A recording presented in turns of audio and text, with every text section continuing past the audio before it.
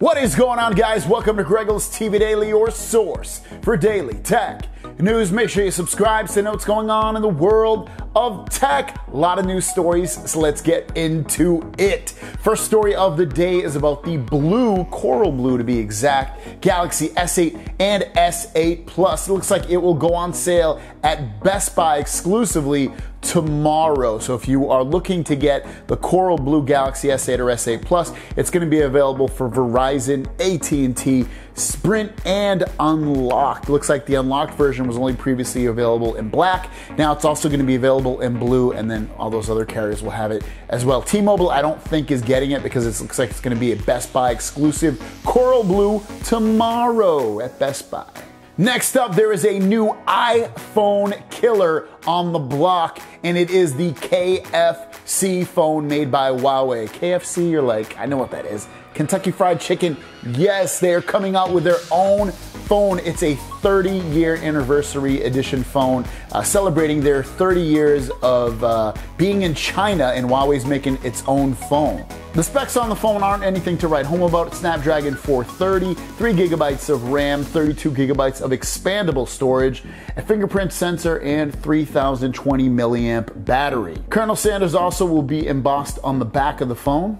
The cost will be $162, and it'll also faintly smell of fried chicken, biscuits, mashed potatoes, and gravy and corn. Speaking of the iPhone, there's a rumor coming out of the Apple camp about some delayed software issues with their wireless charging and their 3D sensing. Now, the 3D sensing is going to be you hold the phone up to your face, it unlocks the phone because it doesn't look like they're going to have a fingerprint sensor on this year's phone because they couldn't get it under the glass.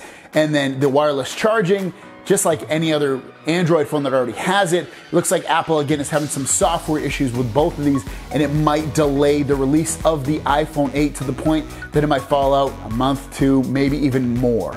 And our last story of the day is about the Galaxy Note 8. It looks like the investor over in South Korea, which is a publication, is stating that the Galaxy Note 8 will be unveiled to the public on August 23rd. Now, this is kind of what we've been hearing uh, for the last few months. I think August 20th at one point is what we were hearing.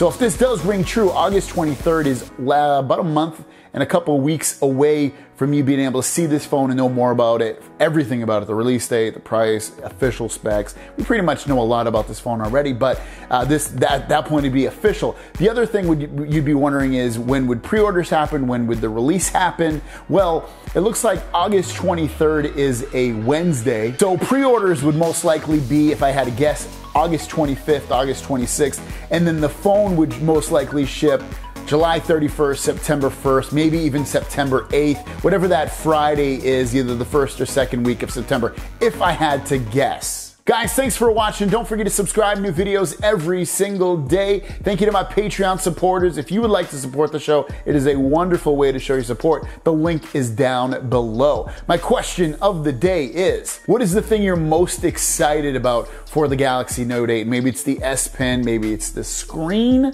Let me know in the comments down below what it is for you. For me, it's to really just test out that six gigabytes of RAM, just really see if it makes a difference. If you didn't see today's video, make sure you check it out.